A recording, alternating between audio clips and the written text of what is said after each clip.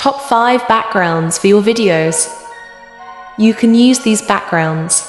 Just subscribe my channel and mention me in your description. I have personally designed these background.